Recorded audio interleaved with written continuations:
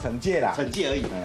用字要准一点。我那个是监狱，他那个是看守所。民进党政策会执行长王义春看到立委王定宇，可要叫声学长好，因为王义春继王定宇之后，刚刚被国台办点名，蓄意编造有关中国的负面讯息，挑动两岸对立，扬言祭出惩戒。一起上节目同框的，还有桃园市议员于北辰。一堆人跟我说，我跟于北辰不是同学，他在中国赚人民币啊。当你真的跟于北辰没有关系，你的统战价值都没了，你算什么嘛？我终于反攻大陆了。自豪敌人的通气就是荣耀，发表得奖感言。但中共党媒海峡导报还为被制裁的五人取绰号，俞北辰是土房哥，王一川则是靠背哥，因为他曾说中国高铁没有靠背。因为另外我补了一句话说，中国我们很少做他们的研究，因为中国那个技术不太行。哇，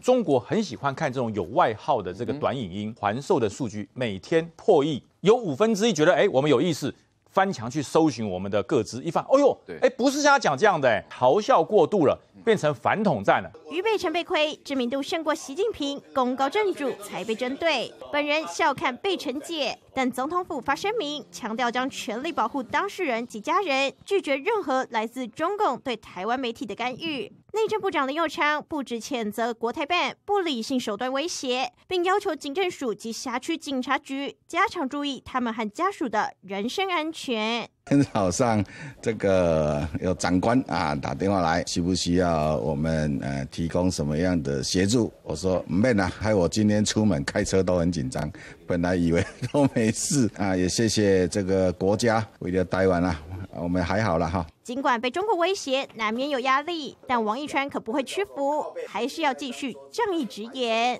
民事新闻郑主任杨玉琴、庄博华、方志怀，新北市报道。MOD 自选频道餐，请记得订阅并锁定民事新闻台。